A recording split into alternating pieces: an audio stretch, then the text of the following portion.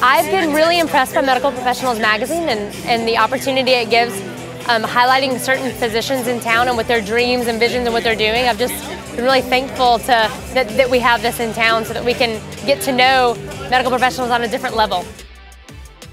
It helps me feel a different connection with other professionals doing what I'm doing, um, but, but that I've never met before. I get to hear their stories and, and read their vision and read what they're doing, and it helps me learn and helps me think more forward in what I'm doing, and it also encourages me um, that I'm not alone and, in thinking forward and going against status quo.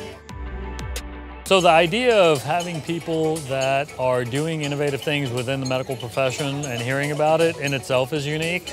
Uh, we're in an industry where it's very standardized and uh, you're used to just doing things a certain way and actually hearing about people that are doing things maybe different that may impact our practice and our patients is valuable. It's interesting because I've been doing something a little different than I've done most of my career and having other professionals read about it and kind of hear about it has been good not only from a referral standpoint but also just being able to uh, interact with them and partner with them to take care of more patients.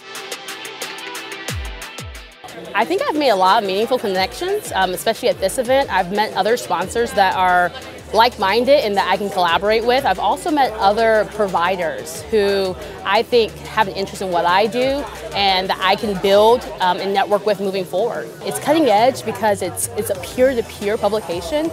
So instead of just having sponsors or having advertisers, all the content feels really genuine.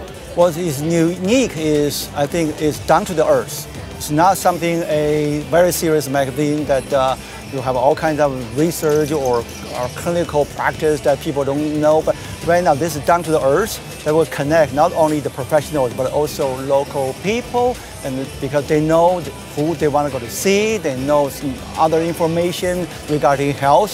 So that's something that's really, really different, unique from other magazines.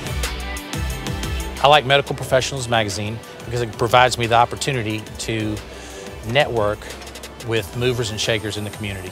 The unique concept to me is that it provides a platform of peer-to-peer -peer recognition. I'm fairly isolated in my practice, and so telling my story in front of the, the greater Augusta population of, of medical professionals is huge because they're the ones who could refer to me, they're the ones who I'd refer to. It, it really sets up a relationship between me uh, and those other people.